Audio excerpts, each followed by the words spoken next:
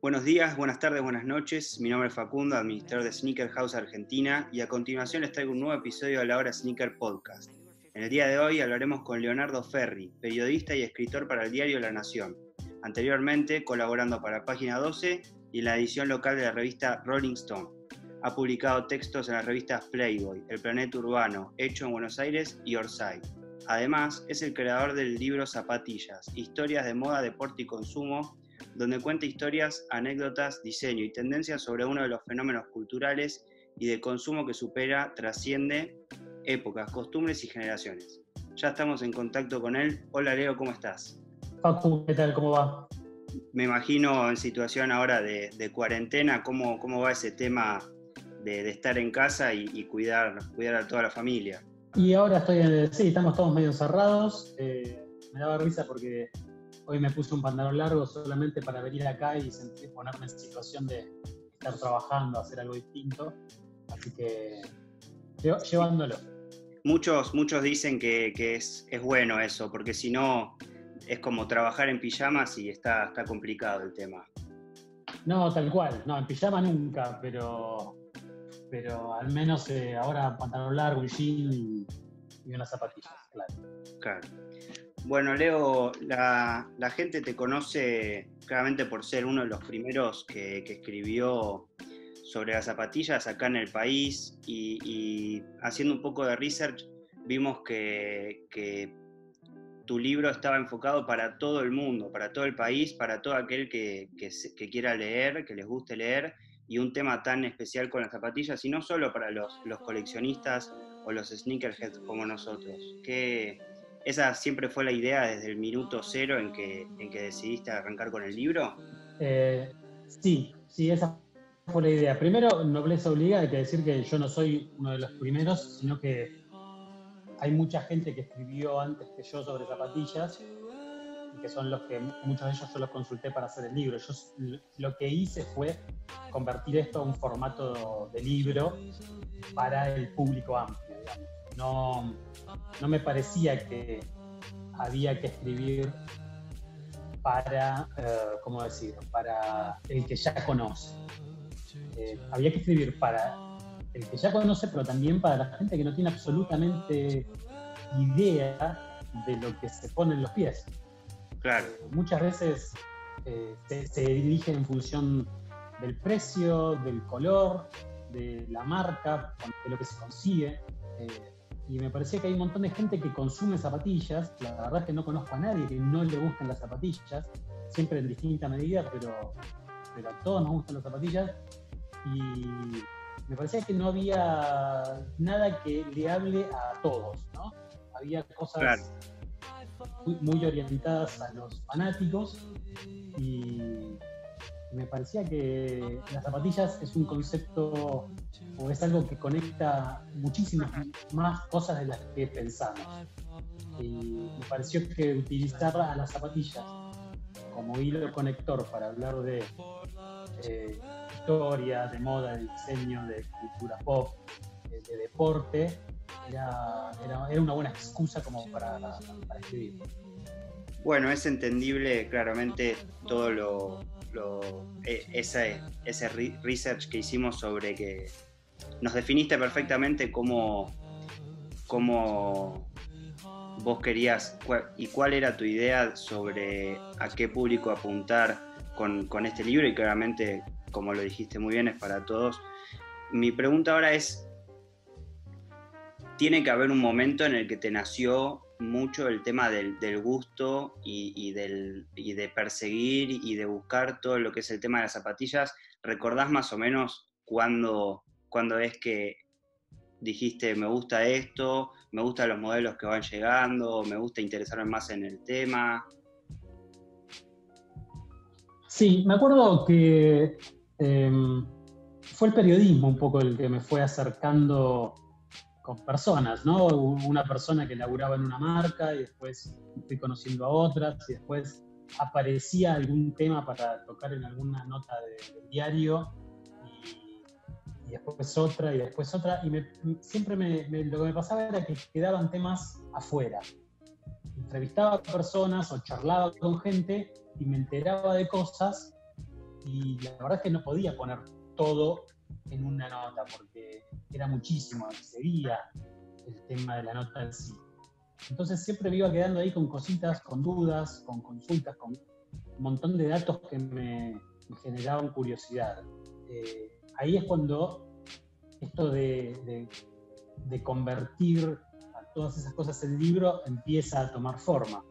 Las zapatillas me gustaban de antes, eh, pero ni de casualidad eh, ni sabía, no, la verdad es que antes de, digamos, serían 10 años atrás, con él, no, sabía de zapatillas ni de casualidad.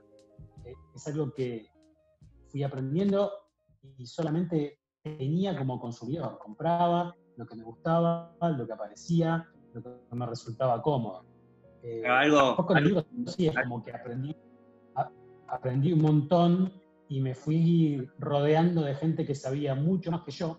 Muchas veces el trabajo periodístico se trata de eso, de entrevistar a gente que sabe más que uno para uno poder aprender y escribir en función de lo que aprendió. Cada parte algo tenías que usar en los pies, por eso eh, justamente ahí eh, ese tema de las zapatillas están para usarlas y, se arranca con este tema de, de, los modelos exclusivos, de los modelos con lanzamiento en general, son un montón de circunstancias que, después se fueron dando con el tiempo. Tal cual. Yo soy de los que piensan que las zapatillas son para usarlas. No tengo pares eh, muertos en el placar.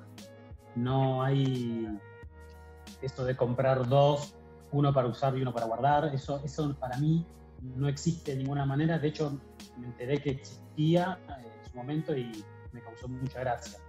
Existe, existe acá, existe acá en el país. claro que existe. Acá en el país hay mucha gente que, tiene más pares sin estrenar que, estrenados.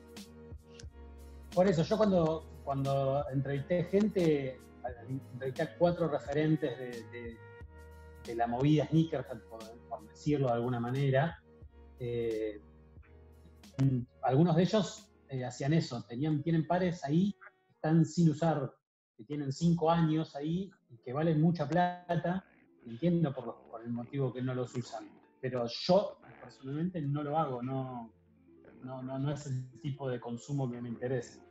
Claro, también igual lo que pasa es que, que hoy los que son los que somos coleccionistas de, de zapatillas relacionamos un par muy especial, uno que costó mucho, o no, no, no solo monetariamente, sino también conseguirlo y, demás, lo relacionamos con, con momentos que, que, valen la pena usarlos, por así, si, si, así podríamos decirlo. Por ejemplo, hace poco realizamos una juntada y yo me estrené un par que tuve dos, tres meses sin, sin usar y colegas y amigos y, gente que conocí mediante esta, esta cultura sneakerhead hicieron más o menos lo mismo o aprovecharon ese momento para lucirse con un buen outfit, con, con un par de zapas nuevos o con un par de zapas que ya habían usado, pero que es muy, muy exclusivo y, y, de alta, alta gama, por así decirlo. Entonces es como que lo asociamos a, momentos eh, únicos. Es que tiene lógica hacerlo de esa manera, porque si vos vas a un evento que es de zapatillas, no te vas a poner cualquier zapatilla. No te vas a poner una zapatilla que usás todos los días para ir a trabajar. Eso, eso tiene lógica y está bien. Eh, yo en realidad lo que hago es, digamos, me gustan las zapatillas, pero no me compro nada de esas, nada que sea exclusivo, nada que no pueda usar en el día a día. Porque sí, porque para mí el consumo de algo que me gusta es para, tenerlo, no para, para mirarlo y nada más, es, para utilizarlo. Claro. Bueno, y continuando así con, el tema de, del libro, de, tu idea llevada a cabo y demás, queremos saber un poco lo que, es, lo que fue el proyecto de creación qué tiempo tomaste, a quién acudiste, tus fuentes y, personas a las que te dieron una mano con, el tema de, la creación y finalización de, un libro dedicado a, las zapatillas y, al consumo, como, como vos lo, mencionaste bien en el, título. Bien. Em, el libro, entre que se presentó la idea en la editorial y que salió publicado, llevó más o menos un año. Yo cuando presento la idea en la editorial no tenía, tenía digamos, en, la mente de qué tenía que tratarse, pero no había escrito. Entonces, una vez que me dicen, sí, hagámoslo, me pongo a trabajar, tenía en claro que tenía que ser un libro con fotos, porque no quería que si hablo de un modelo de zapatilla, una persona no pueda, tenga que ir a Google para saber de qué estamos hablando. Entonces, menos de determinados modelos quería tener imágenes. Eh, y para eso recurrí a las marcas para pedirles de sus bancos de imágenes eh, fotos de, cada una de, de, los modelos que yo les pedía. A la vez, otra cosa que tenía en claro era que no quería que sea un libro sobre marcas, ninguna en particular, ni todas, porque no quería que haya una exclusividad con ninguna. Eh, me parece que eh, hubiera perdido, el libro hubiera sido malo en ese sentido. Si yo quiero contar la historia de Nike es una cosa, la, historia de Adidas es otra cosa. Pero si quiero hablar de historia de zapatillas, y las necesito un poco a todas en ese sentido cuando les, les acerco el, proyecto, digamos, y me reúno con cada una de ellas, algunas se prenden enseguida, otras no tanto, algunas ya me conocían, otras no me conocían. Entonces, eh, entiendo también que las marcas trabajan mucho para el hoy y ahora, eh, las redes sociales, es lo que mueve el deseo, digamos, de los consumidores eh, son instantáneas. Entonces, presentar yo un proyecto para un libro que iba a salir dentro de un año era como que yo no estaba en agenda y eso yo lo tuve claro. Aún así, eh, por ejemplo, Converse y New Balance me dijeron, bueno, Leo, vos querés hablar con alguien, avisanos y vemos qué podemos conseguir. Entonces aproveché un viaje que tenía a Nueva York por invitación de, Casio, o sea, por otro tema, eh, y mm, acordé ir a Boston a hacer un par de entrevistas. Boston es como una pequeña meca de las zapatillas, eh, como lo es eh, Portland, de, la otra costa de Estados Unidos. En Boston están las centrales de, Converse, de New Balance, de Reebok, de Puma, de, de Brooks. O sea, es como un gran semillero de talentos cuando estoy ahí entrevistando gente, le pregunto por qué Boston. Me, explican que es porque al estar eh, cerca de Harvard y del MIT, eh, que tiene muchas carreras relacionadas con diseño, es un lugar en el que es, un lugar de talentos. Entonces es mucho más fácil contratar a alguien que recién se gradúa o que, ya, o que todavía está estudiando que hacerlo eh, en otra ciudad y que esa persona se tenga que trasladar.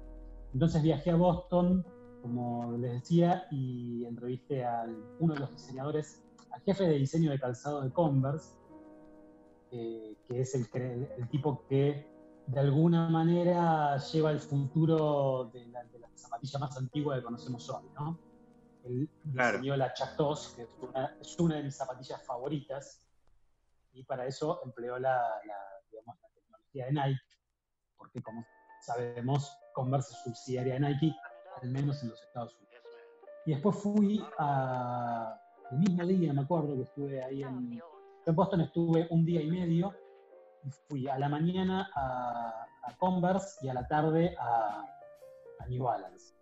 En New Balance entrevisté al diseñador de performance, ¿sí? Eh, no, no tenía nada que ver con moda, sino con, con una cuestión más de tecnología y de rendimiento deportivo, entrevisté a un ejecutivo de, la marca que hace 41 años en ese momento que estaba y que había vivido gran parte de toda la historia de la marca, de la historia moderna de la marca, ¿no? Desde los 70, que fue la fiebre del running en adelante. Eh, después acá en la Argentina entrevisté un montón de personas que, como dije antes, consideré yo que, eran de las que yo tenía que aprender. ¿sí? Eh, algunos de ellos son eh, sneakerheads, bueno, alguno de ellos trabaja ahora en alguna compañía.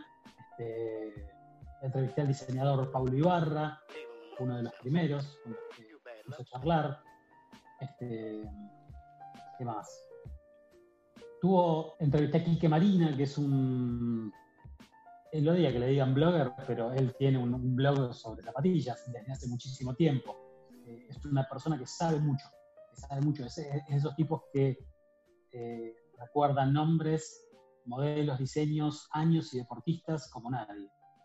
Eh, fue en, total el libro tiene alrededor de una docena de entrevistas eh, que me ayudaron a entender yo el tema sobre el que estaba escribiendo y, después, eh, digamos, encontrar cuál era la división que yo quería hacer.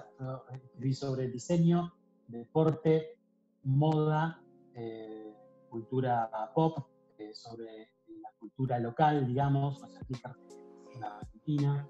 Eh, y me pareció que era una división correcta como para hacerlo. Entrevisté también a Steven Smith, que es, eh, hoy en día es la mano derecha de, de Kanye West. Eh, pero yo en ese momento, cuando lo entrevisto, era porque él había creado una zapatilla muy emblemática de los 90, que es la Reebok Instapump Fury, que es una de las primeras zapatillas sino la primera que. No, la primera en utilizar cámara de aire, cámara de aire no fue, pero sí eh, uno de los primeros modelos en, no utilizar cordones y, utilizar el aire para, para lograr confort y Y entrevisté a un viejo ejecutivo de Adidas, es el, el que hizo firmar el primer contrato a RAM DMC con Adidas. Eh, todas esas entrevistas fueron por mail, por supuesto, pero siempre, siempre a, la gente se termina llegando. En general estas personas, o al menos mi experiencia es que con el libro me han tratado mejor afuera del país que acá, en, esto de conseguir información, ¿no? Acá fue a veces, en algunos casos, muy difícil eh, que me contesten o que me den bola, y si yo le escribía un mail a Steven Smith, él me lo respondía. Entonces, como que el tema es mucho más antiguo afuera del país que acá y también por eso en parte es que se lo respeta un poco más. La verdad que me, sorprende la, la, cantidad de entrevistas, pero también la, calidad de, los entrevistados. Eh, es increíble con, la gente que, te pudiste reunir. Fue muy, muy bueno este, este tema de justo coincidir con, con un viaje y poder estar en, las centrales de las marcas, de las primeras marcas del mundo. Y, me quedo un poquito ahí con lo que mencionas de, las Reebok Insta Pump Fury, que hace poco las, las reinventaron un poquito de nuevo con, con, la colaboración con Adidas y, su tecnología Boost. Em, ¿qué, ¿qué, pensás de, de, estas tecnologías nuevas que vienen apareciendo en, el mundo, ya sea Adidas con el Boost o con el 4D, Nike con, el React o con la tecnología Adapt de auto enlazado, eh, Reebok trayendo de nuevo lo que es el Instapump, que es eh, una forma de atar los cordones con aire, algo antes no, no, tan, no tan visto. ¿Qué, pensás y para dónde va la, la tecnología y la moda del y sí, la moda o el diseño del calzado al futuro. Eh, a mí me da la sensación de que si el Boost hubiera existido en 1994, cuando salieron las Instapam Fury originales, hubieran usado ese material.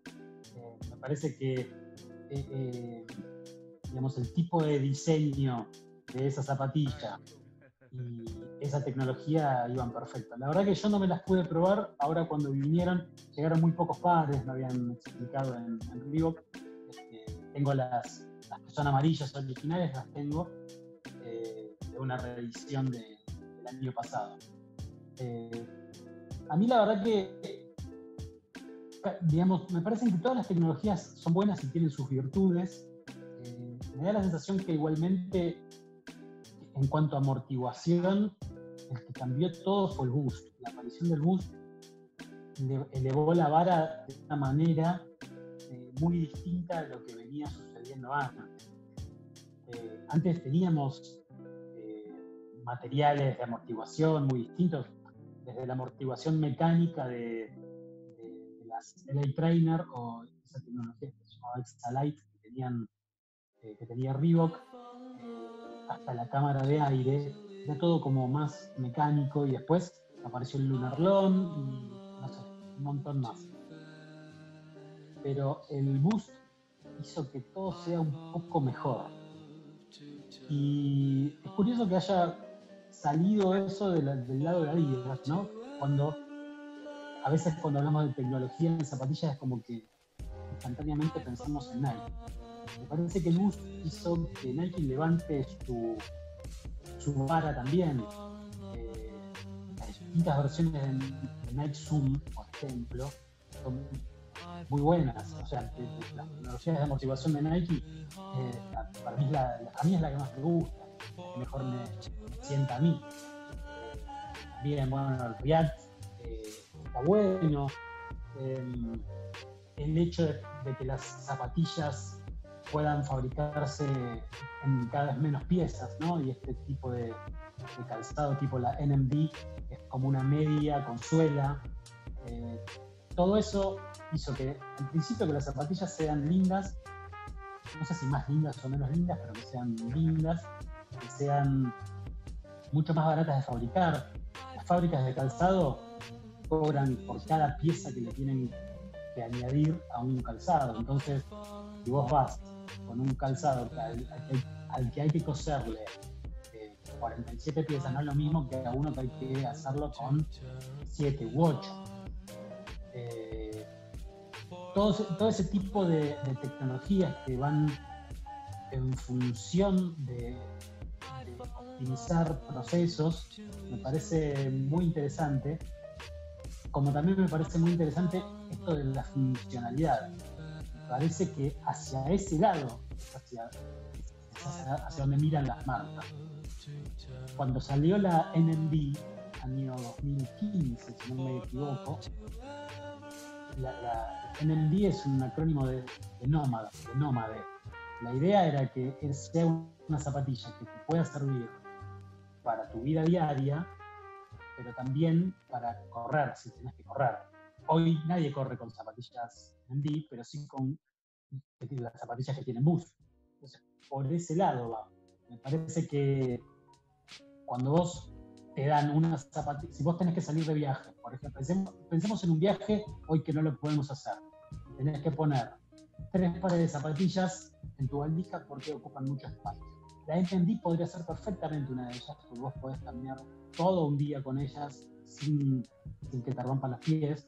Eh, y podés elegir otro modelo que esté hecho con alguna tecnología que lo vea impermeable, por si llueve, y no dejaría de ser una zapatilla, no tendrías que llevarte unas botas, por ejemplo. Entonces, ese tipo de, funcionalidad de que las zapatillas sirvan para distintas ocasiones es hacia donde se mira. A mí no me parece que el futuro esté en cordones autoajustables, la verdad. Eh, todo eso resultaba muy simpático cuando se estrenó Volver al Futuro 2. Ahora, si bien le llevó muchísimos años llevar eso a la realidad, sacarlo de la ficción y que vos hoy te puedas poner unas zapatillas que se ajustan solas, eh, me parece que es una mirada bastante al pasado, eh, casi nostálgica. Yo me probé las, eh, no, me acuerdo ni el nombre. Estabas hablando, Leo, de las HyperAdapt de Nike que llegaron hace, hace unos años. Mencionabas que tuviste la oportunidad de probártelas, ¿qué tal te, te parecieron? Sí, yo estaba haciendo el libro en ese momento, entonces tiene que haber sido año 2018, por ahí, antes de que salga. Eh, y eh, la verdad que es divertido ponerte las zapatillas y que se aten solas y que hagan ese sonido. Es divertido, es pintoresco y está bueno. Y hasta me sorprendieron que eran cómodas las zapatillas.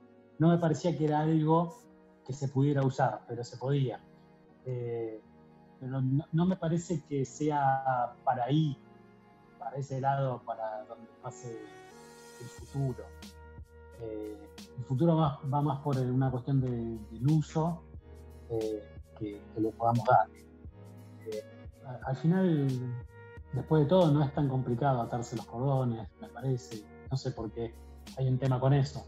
Así que... Sí, también lo que, lo que profundizó Nike con esto fue eh, para la gente que tenía problemas eh, físicos de, atarse los cordones, darle esta opción de simplemente poner el pie y que, la zapatilla se ajuste sola a, lo que a, a cómo el pie estaba dentro, dentro de la misma. Eh, concuerdo. Sí, sí, seguro. Concuerdo. Seguro, me parece que. Sí, decime. Perdón. Me parece que eso es un problema solucionable de una manera mucho menos fetichista, por decirlo de alguna manera. Tener esa, zapatilla no es eh, para una persona que tiene problemas para atarse los cordones, sino para una persona que realmente quiere tener ese objeto. Porque puede ser un objeto de deseo, una zapatilla que se ata sola. Eh, hay soluciones muy prácticas sin cordones que, uno digamos, podría tener por mucho menos dinero. En ese momento eh, creo que habían salido y costaban alrededor de 16 mil pesos, era una barbaridad en ese momento. Tuvieron un precio retail de 500 dólares, si me recuerdo, y en ese momento eh, creo que estábamos con el dólar a un poquito más de 20, así que sí, seguramente eh, se manejaba ese precio. Claro, sí, sí, puede ser, puede ser.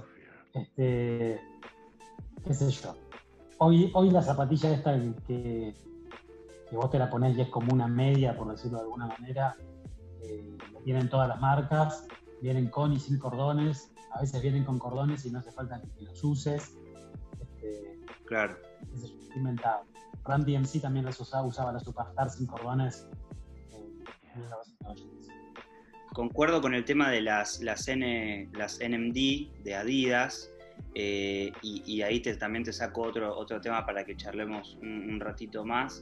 Eh, las NMD lo que tienen es que si las usás para, ir al gimnasio están perfectos, pero si las usás también con un jean para ir a tomar algo con amigos, eh, no, no, habría ningún tipo de, problema. O sea, la, brecha entre calzado e indumentaria deportiva contra lo que es lo, urbano, el tema de salir a la calle y vestirse bien, ir a un evento y demás, medio que se fue, se fue borrando con el tiempo a mi parecer, obviamente, capaz vos tenés otra, otra percepción de eso, pero las marcas últimamente están con los mejores diseñadores del mundo, como por ejemplo Virgil Abloh, el, creador de Off-White y el que está colaborando constantemente hace más o menos tres años con Nike.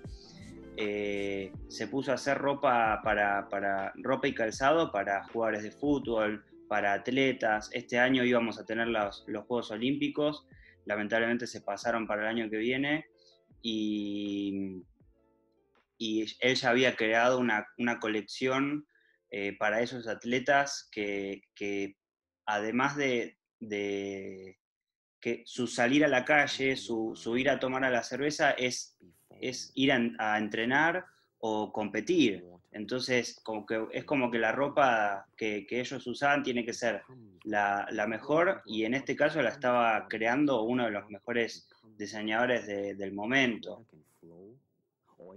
sí, lo que crea es como una línea de streetwear para, deportistas, un poco más profesional, para que no la use cualquiera en, cualquier lado. Eh, no sé, yo la verdad que, ¿sabes que cuando fui a a Boston, después iba a Nueva York ese viaje que, me habían invitado, y en la fiesta, era una fiesta en el Madison Square Garden, estaba pasando música Virgil Abloh. Y yo no, ni lo conocía de cara. Voy a, voy a ser absolutamente honesto. No sabía que ese que estaba ahí pasando música, estaba pasando como una especie de track, eh, era Virgil Abloh. Estaba muy tranqui con una camperita de jean, una remera, no, no, no, si no hubiera intentado aunque sea acercarme para hacerle alguna pregunta y sumarlo eh, al libro, no sé si me hubiera dado bola, no importa. Eh, la zapatilla lo que tuvo es una legitimación por un público mucho más amplio que el que tuvo en las décadas pasadas. Y eso es, eh, eso es de mucho antes que o de muchísimos diseñadores de ahora. Algo que cuento ahí en el, en el libro y que aprendí gracias a unas colegas periodistas de moda que, sabían mucho más de moda que yo, eh, era que el momento, en el 2015, la, la Stan Smith de Adidas fue la zapatilla más vendida porque un año antes hubo una diseñadora que se llamaba Phoebe Philo que subió a la pasarela a dar su saludo final después de presentar su colección en la Semana de la Moda de París con unas Stan Smith blancas, con, la talonera verde, las clásicas. Eh, ella lo que hizo fue tan solo salir 10 segundos a saludar, vestida toda de negro, con zapatillas blancas pero puso a las zapatillas en un lugar en el que no habían estado. No es que el público ahí no sabía nada de zapatillas o no usaba, sino que las puso en otro lugar. De alguna manera, las grandes casas de moda, ¿sí? es algo que hoy vemos con Balenciaga, con Dior, con, no sé, con cualquier gran marca de moda, es que la zapatilla ya forma parte del vestuario y se puede combinar tranquilamente con cualquier ropa de gala o de fiesta. Coincido, coincido plenamente y, volviendo a un tema... Hay que onda para hacerlo, ¿no? Pero, bueno, claro. se puede hacer. Dentro, dentro, fíjate que, dentro de este año Dior colabora con, Jordan en un hacer Jordan 1. Eh, claro. Y, eh, Prada con Adidas. Prada con Adidas, Louis Vuitton fue a buscar a, a Virgil Abloh y, no fue para hacer zapatos o, bueno, zapatos también hizo, pero dentro de todo fue para buscar al, público consumidor de, sus creaciones, que es bastante amplio, pero también eh, creó unas, unas sneakers diferentes con, la marca Louis Vuitton, con el logo Louis Vuitton, y, que antes capaz era impensado para una marca tan lujosa, podría casi decir la más lujosa del mundo, tener, buscar a esa persona para reinventar su, su, colección, su diseño, sus ideas. Eh, lo hicieron a él director creativo de, lo que es calzado indumentaria de... Pero pensemos... Sí. Pensemos que desde que pasó esto que te cuento yo de las la pasarela en 2014 hasta que Virgil habló convierte en un nombre importante, digamos, dentro de la industria de la moda, pasaron cinco años. O sea, y hoy cinco años es mucho más tiempo que hace 25 o 30. Entonces, eh, en ese momento me da la sensación de que las casas de moda legitimaron a las marcas deportivas. Y yo no sé si ahora es al revés. Esto es un debate interesante, como para saber, o como para discutir. El tema sería si no son ahora las marcas deportivas, con las que se viste una gran parte de, la población de las ciudades del mundo, son las que le dan legitimación a las casas de moda que muchas veces diseñaban cosas que después no veíamos en la calle, o que quedaban ahí como una noticia en los suplementos de moda. Ahora es como que los llevan a la práctica, los llevan al uso. Por ahí antes te podías comprar eh, una cartera de Louis Vuitton y, vos si la traías para acá, para la Argentina, no sabes si sacarla a la calle por lo que cuesta. Entonces, eh, quedaba ahí, como, ese, como lo que hablábamos antes, ese ítem que lo compras y que no se usa, ¿no? Eh, Exacto. Me parece que se acercaron un poco de esta manera a, las zapatillas, que son un ítem eh, aspiracional, eh, muy popular en este momento. Todavía hoy las zapatillas, si bien hay algunas series de agotamiento, resultan ser ítems muy populares. Todas las marcas hoy, ah, hablamos de Gucci, de Dior, de Balenciaga, y también hablamos de, Complot, y, sé, 47 Street acá en la Argentina, todas tienen zapatillas. Eh, y es porque hay un consumidor dispuesto a comprar zapatillas porque sabe que las puede usar cada vez en más ocasiones. Es como un círculo. Vos vas a elegir un calzado que puedas usar la mayoría del tiempo y no eh, comprarte algo para usar una vez y nada más. Claro, totalmente. Eh, eh, me quedo con eso de, que las, marcas deportivas ahora como que eh, esperan solas el, llamado de capaz realizar una colaboración o, simplemente tener, buscar a un, esperar el llamado a un diseñador nuevo eh, o tendencioso, por así decirlo, que, quiera hacer algo junto, junto a esa marca y capaz antes Nike o Adidas estaban tras, tras esas marcas lujosas y no, no, estaba eh, el mundo preparado como para, para ver eso. Yo creo que hoy está un, todo, un poco todo más, más llano, más como que no, no nos sorprendería que próximamente haya otra, otra colaboración así entre una marca deportiva y lujosa porque ya se hizo. Totalmente, de hecho lo, de Dior y Nike y Prada y Adidas hasta pareciera que llega un poco tarde. A mí particularmente no me parecen muy interesantes ni las Superstars que hizo eh, Prada, ni las Jordan que hizo Dior. La verdad, en cuanto a, diseño, eh, materiales, no, no, parece nada nuevo, la verdad. Parece la misma Superstar que vos podés comprarte hoy, que están en cualquier lado, hoy y hace cinco años, están en cualquier lado, y, pero van a tener eh, alguna cosita ahí que dicen que son las Dior. Y lo mismo con la Jordan. Las Jordan las están sacando, al igual que hicieron con la Superstar, en cualquier color que exista. Y, las de Dior no tienen nada en particular, tienen ahí la trama así de los Sí, modificaron. pero hicieron el sush. que no sirven. Hicieron el sush con, el logo de Dior, hicieron la, suela que es eh, una así celeste medio traslúcida, con, el nombre de la marca abajo, lo, que, lo que significa también eh, el, poder de, de hacer esto, esta colaboración, es la, percepción de, nosotros los coleccionistas, de un par que va a tener un valor oficial de tanto dinero y tiene una exclusividad tan, tan grande, creo que las Air Jordan 1 High, las altas, van a tener 8.500 pares alrededor del mundo y eso, eso lleva a que se arme un revuelo por, por el tema. No, no es un, no es un par más que, lanzan. E, es algo, es, una linda nota en el tiempo que, queda entre, entre Jordan y Prada. Capaz el modelo no es, el diseño, perdón, no es el que esperábamos. Los materiales supuestamente son de, primera calidad, creo que son las zapatillas fabricadas en Italia.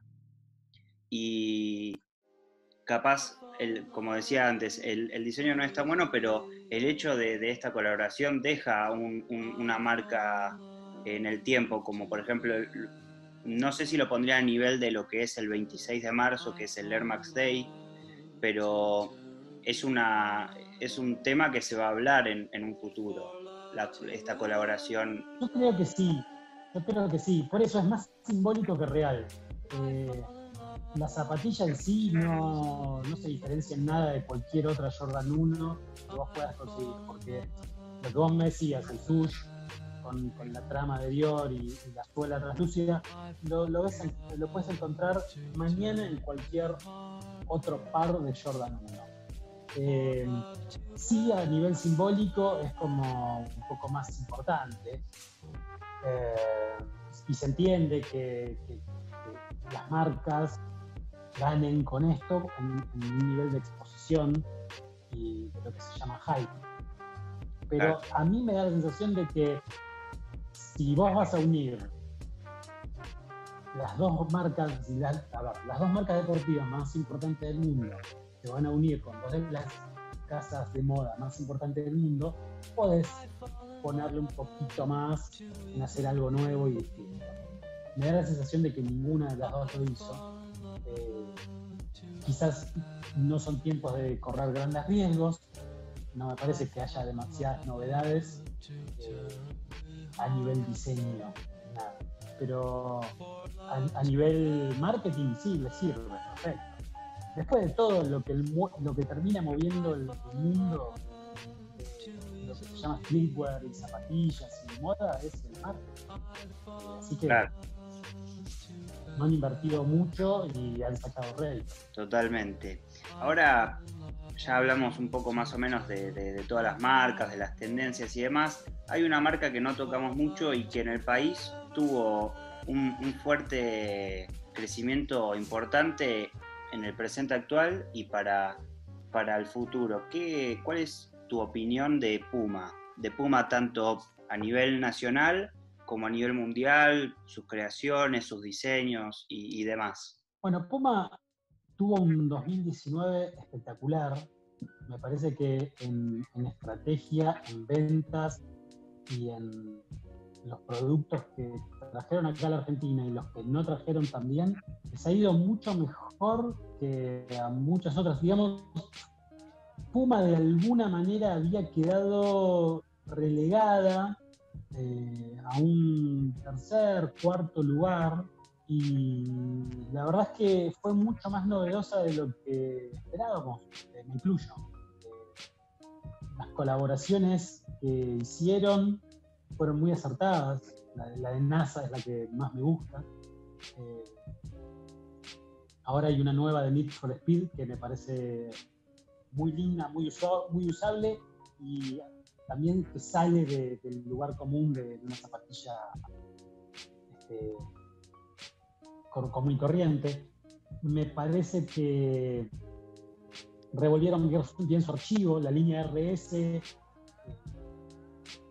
tiene mucho que ver con lo que se usa ahora, ¿no? la zapatilla típica de los 90, y, la están adaptando con colaboraciones y con eh, combinaciones de colores hacen lindas. Eh, fíjate que el 2018 festejaron los 50 años de la Puma Suede y en 2019 ya la Puma Suede, digamos, quedó porque siempre está, pero no se le dio bola y se le dio bola a, todo esto que, estaba diciendo antes. Eh, Puma además volvió a fabricar calzado de básquet. Sabemos que las zapatillas de básquet y las running son las que de alguna manera marcaron el camino de las zapatillas de moda que hoy conocemos. Entonces, eh, es como que están en un ida y vuelta permanente eh, con su historia y con cosas nuevas que la hizo muy interesante.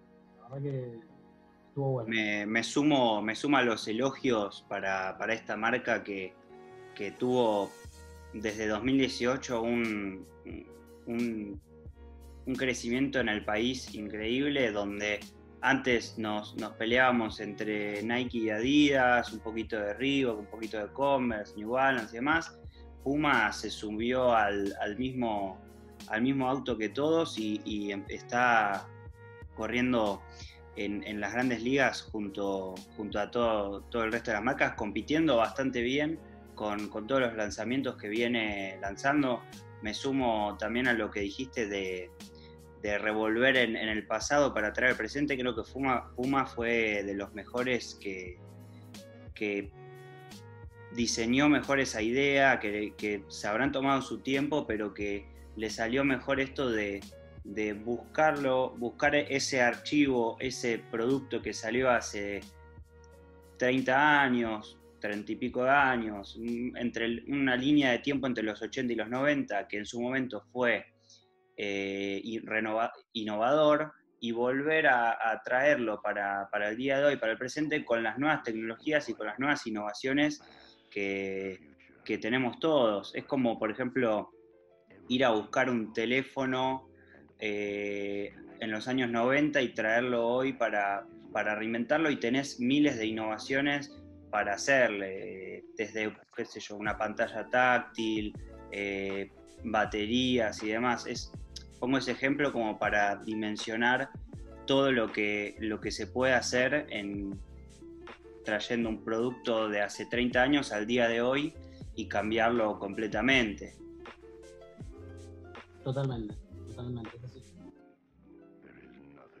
Así que, bueno, para, ir finalizando, eh, tenemos preparado como un flash así de, preguntas que es una opción o la otra, o, podés explayarte un poquito más en cada una y decir por qué esta opción y por qué y por qué no la otra. Así que si te parece, arrancamos. Dale nomás, a ver. Bueno, la primera pregunta es, arranca, arranca difícil, ¿es Nike o Adidas?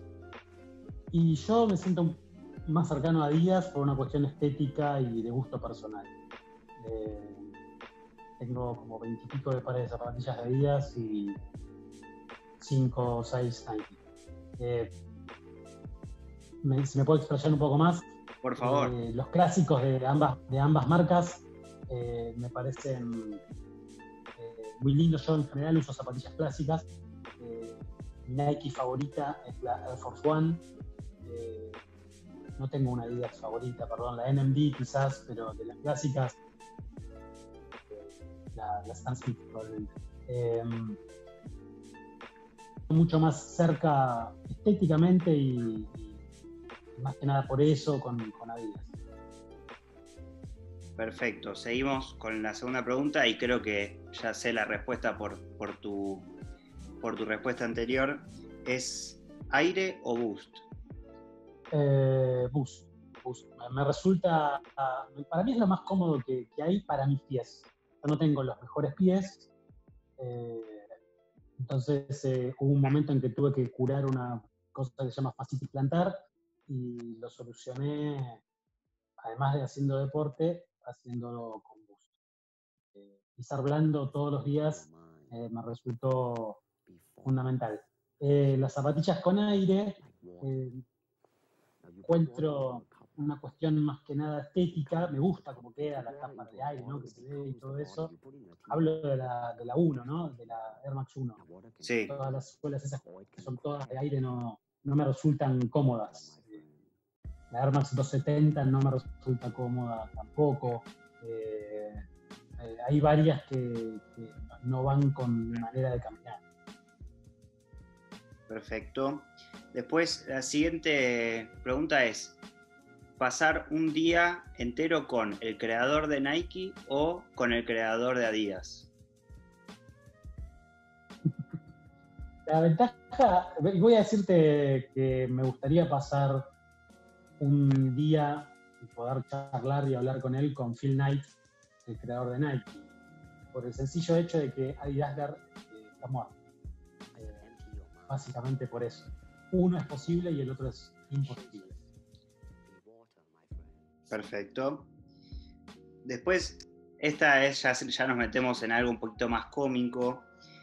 Y, la siguiente pregunta dice, eh, ¿qué preferís? ¿Zapas con olor a pata o que siempre estén sucias?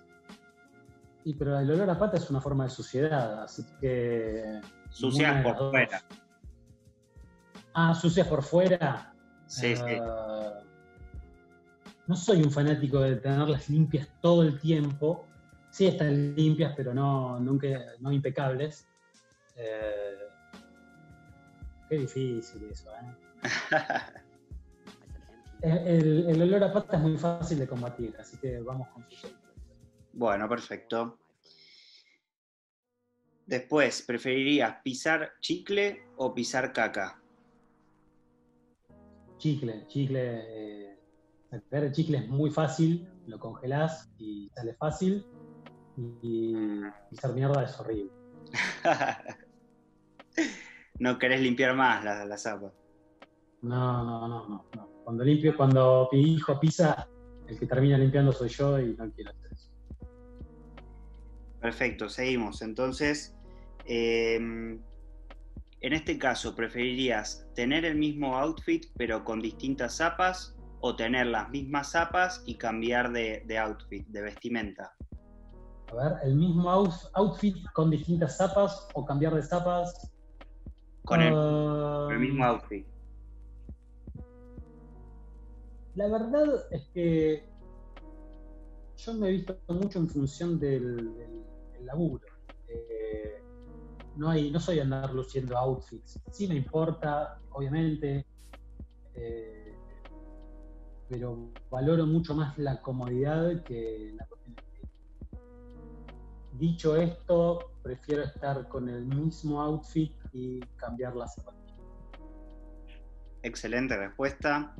Seguimos. Esta, esta ya nos metemos en, un poco lo que significa para vos el tema de las zapas y, te pregunto, ¿cuál es a día de hoy tu par preferido que tengas en tu colección?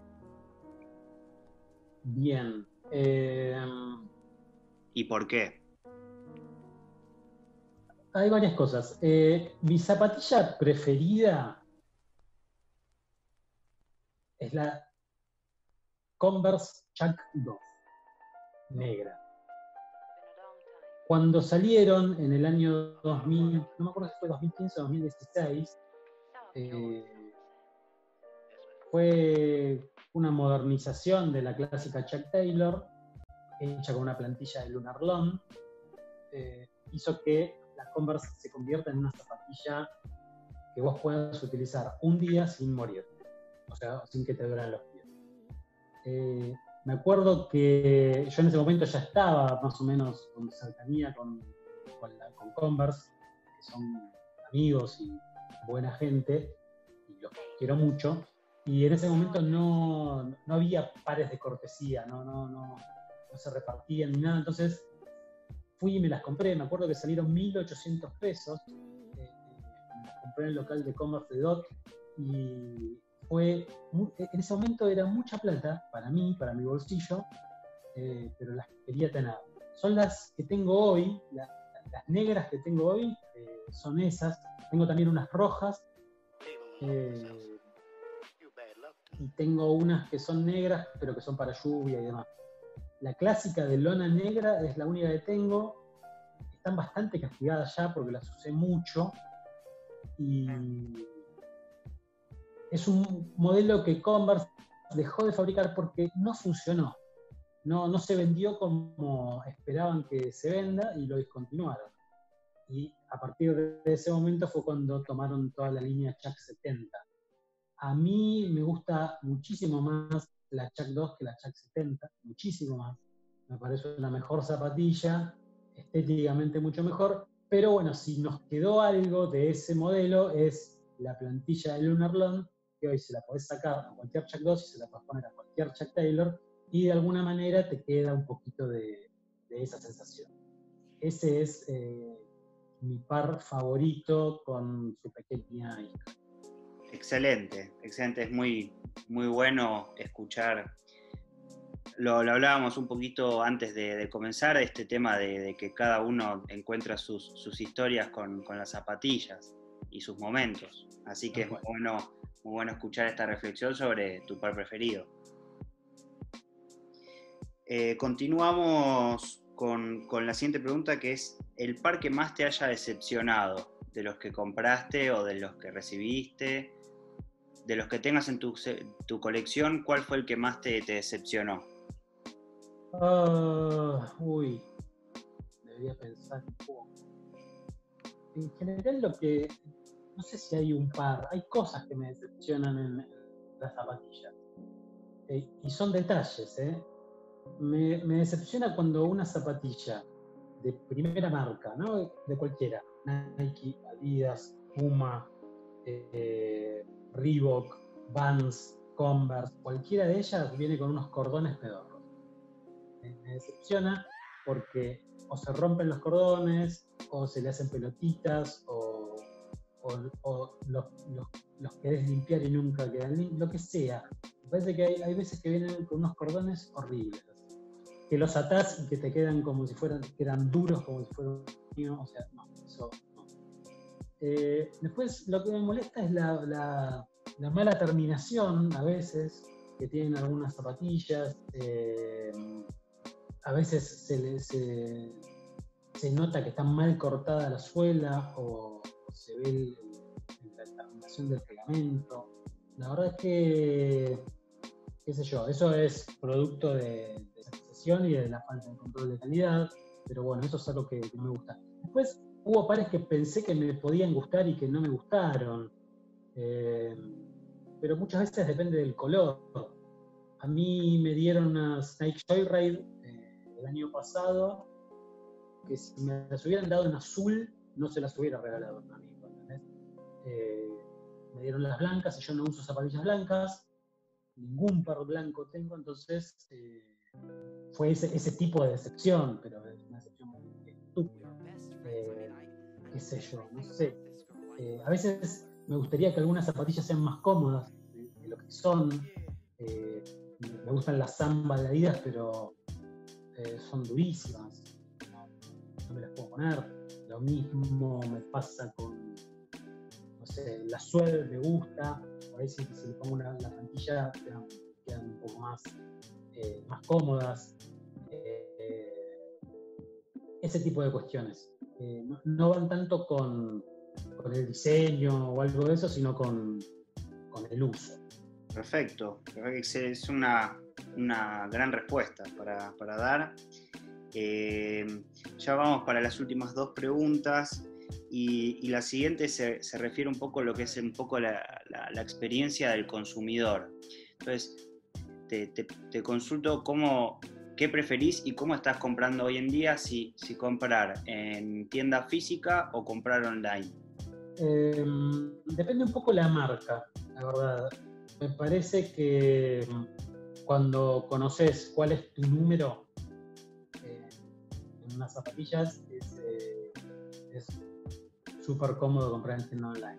La verdad que es, es fácil, a veces tenés mejores ofertas, lo que hago a veces cuando veo un par, un modelo que me gusta, es eh, fijarme los precios, porque no siempre están lo mismo en la página oficial de Adidas, por ejemplo, eh, en Chelsea o en Fitzrovia o en Dionysos. Eh, digamos, no sé por qué, a veces los precios son distintos. lo que yo hago es aprovechar oportunidades. Como yo tengo mis gustos muy definidos, sé que es muy poco probable que aparezca un par que tenga mucho hype y que me interese. Antes, fuera de, del aire, hablábamos de las últimas Yeezy que aparecieron, estas color marroncito, beige. A mí me parecen horribles, pero no me, no me parece ese Yeezy 350 como un. No me parece que el modelo sea horrible. Me parecía feo ese color aún así no tengo Yeezy porque nunca fue el momento cuando, digamos, si yo hubiera sabido que hoy iban a costar 17 lucas y por ahí cuando salieran las Bread, que son las que me parecen lindas, las hubiera comprado, pero no sé, en ese momento tampoco me parecían interesantes. No me arrepiento, no las tengo y listo. Eh, yo compro aprovechando oportunidades. La verdad es que no me gastaría 10 mil pesos en un par de Air Max no me gastaría eh, los 22 mil pesos que cuestan las zapatillas con las colas de Adidas. Eh, no gastaría 8 lucas eh, en lo que cuesta algunos modelos de Smart TV. Hoy día me parece también que pagar casi 5 mil pesos por unas compras es un poco mucho. Eh, entonces lo que hago es esperar, ¿sí? porque no tengo, el, don de la, paciencia y espero para que esos modelos bajen. Y ahí es cuando aparecen a un precio lógico que uno puede pagar, más allá de las cuotas. La verdad que no me parece eh, comprar zapatillas en 250. 12 cuotas se compraban otras cosas. Sí, ya ahí meterse en el.